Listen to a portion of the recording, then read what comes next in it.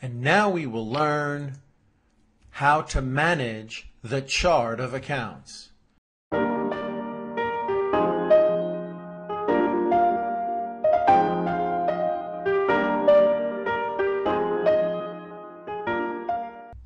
You may well ask, what is the chart of accounts?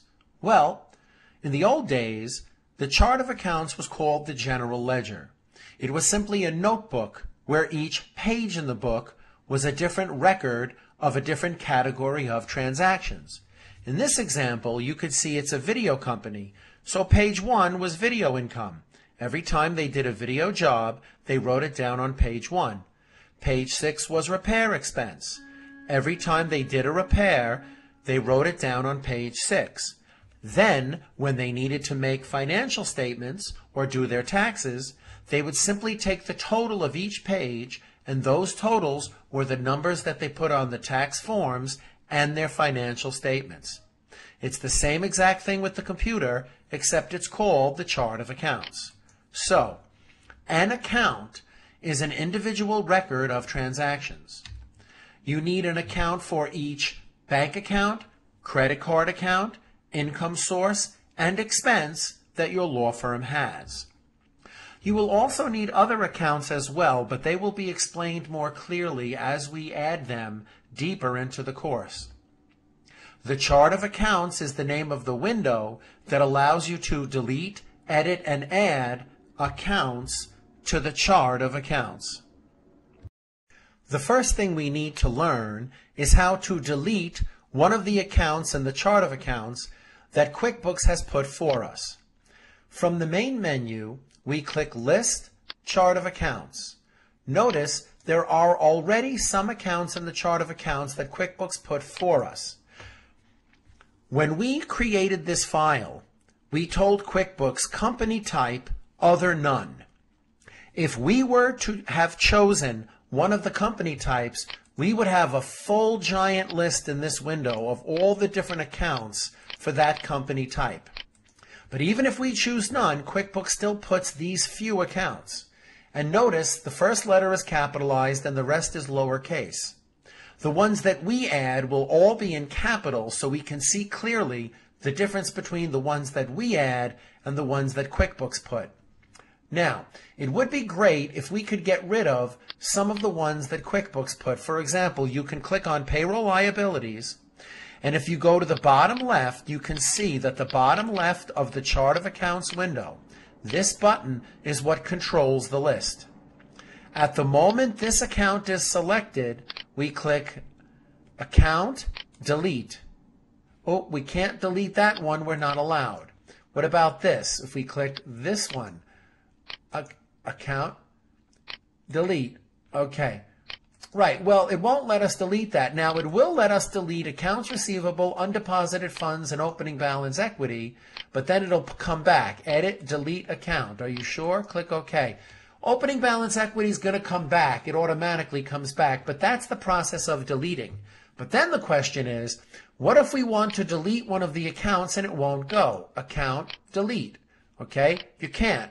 QuickBooks has it set up that the few accounts it puts at the beginning you cannot delete.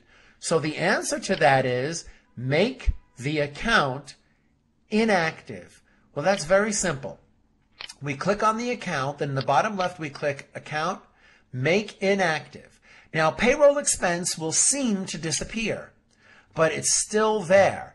If you click this box, Include Inactive Accounts, you can see that all the names are indented and only the account that is inactive has an X. If I click here and I went make account inactive, it puts an X next to it. That means that if I remove this check mark, those two accounts will not be shown. You can always reactivate them by clicking to see all of the accounts, whether they're inactive or not, clicking on them, and then clicking Make Account Active. We will leave payroll expense, you know, inactive, and I think we should also make payroll liabilities inactive because that's irrelevant to our course. Then remove the check mark here and you'll only see three out of the several accounts that we will need to be able to manage our chart of accounts and do our QuickBooks. Most importantly, you need to be able to add accounts to the chart of accounts. Now, this is the set of accounts that we're going to put in, and we are not going to bother typing in the ones in lowercase. We will only type in the ones in capital letters. That's because the ones in lowercase are the ones that QuickBooks automatically put. The ones with capital letters are the ones that we need to put that are specific to our law firm. These are not the accounts that are specific to law firms in general. That will come in the next video. This is just the these are just the general accounts that would apply to any business, but it helps you learn how to manage the chart of accounts.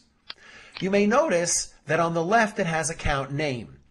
And in a real situation, you could type in any name you want. Whatever name you give the account will show up exactly the way that you spell it and type it in on any of the reports. So if you type in this, uh, the name of this account with all capital letters, that's exactly the way it'll look when you run reports that show results of these accounts. However, account type is something different. Account type is something that you choose to go along with the name. It determines how the account will behave in QuickBooks. Now, something very important to remember. Account type in QuickBooks is not the same thing as account type when you study accounting theory. When you study accounting theory, account type means which report the account will go on, what category, what area of information it's showing. That's accounting theory. But in QuickBooks, when we say account type, we mean how will it behave? Will it be a bank type of account so it will open in a register window for us to record checks and deposits? Or, for example, will it be an accounts receivable type of account that means it will be matched and equal to the total balance of each customer? So those are two accounts that you need, but they need to behave differently. That's why you tell QuickBooks account type when you put it in. So please trust that the account types make the law firm functional if you do it exactly as you see it here. So this is the list that we will put in to the chart of accounts. From the main menu, we click List Chart of Accounts. And in the bottom left, we click Account New. Now, this window is only for the first account of several that you will put in on a list and we will put in bank type of account and then we will click continue and we know from our list here that it's a bank type of account and it's called Chase bank account. So we type in the name with the capital letters Chase bank account. Then we can click save and new. Now notice if you click save and new you'll stay in the same window and you'll be able to type in the next one. Now let's skip the one in lowercase and go down to the next one in capital. Furniture, that's a fixed asset. So we come here and we type in furniture, and of course the type is fixed asset. And then we click save and new, right? Then the next one we do, that's capital, accounts payable, in capital letters and it's accounts payable type. So we come here and we choose accounts payable type and in all capital letters, accounts payable. And then we click save and new. Let's do one more and then I'll show you something interesting. Ross Capital is equity. Ross is the owner of the law firm. So if we click equity as the type and we type in the name Ross Ross Capital, look what happens if we click Save and Close. If we click Save and Close, we can simply see the accounts that have been already put on the list. But look what happens when we go back to put more on the list. Account new. Aha. We're back at this first window. So if you're putting them in one at a time, you would put the account type of the first one. So the next one here is Ross Withdrawals. It's equity. So we would choose equity as the type, click continue, and then we click Ross with withdrawals. Save and new. Then we go to the next one. Income from legal fees, and that's an income type of account. So we choose income, and we type in income from legal fees. Okay, save and new. Then we go to the next one. We'll do one more and then we'll just skip the lowercase and just come here, court fees expense. So that would be the name of a typical uh, lawyer expense. So the type is expense and in capital letters, court fees expense. Okay, and then click save and close. So there's only a few more. Okay, there's one, two, three, four, five, six that you should put in after I stop this video. And you should pause it now and copy them in. They're all expenses. Then your chart of accounts will be ready for the next video.